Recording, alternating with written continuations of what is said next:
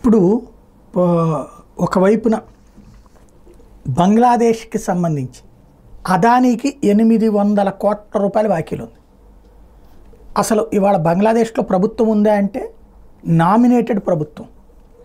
America వాళ్ళ చెప్పు చేతలలో నడిచేటటువంటి సైనికాధికారులు నడుపుతున్నారు. ఈ సైనికాధికారులు అటు చైనాతో కూడా టచ్లో ఉండేటటువంటి వాళ్ళు.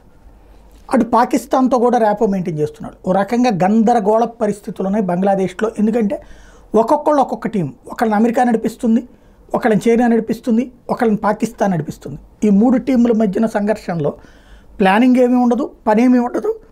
ఫైనల్గా అక్కడ ఆదాయం లేదు. అక్కడ ఉన్నటువంటి ఇండస్ట్రీస్ తరలిపోతున్న పరిస్థితి. అస్థిరత ఉన్న ఏ దేశంలో కూడా పరిశ్రమలు ఉండవు. ఇప్పుడు అక్కడ పరిస్థితి అదే.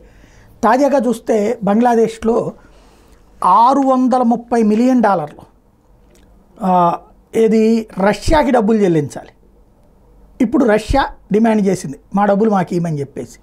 అంటే రష్యాకి డబ్బులు చెల్లించాలి ఇక్కడ అదానికి చెల్లించాలి అప్పుల రూపంలో ఏది? కరెంటుకి చెల్లించాల్సినటువంటివి ఎక్కువ ఉన్నాయి.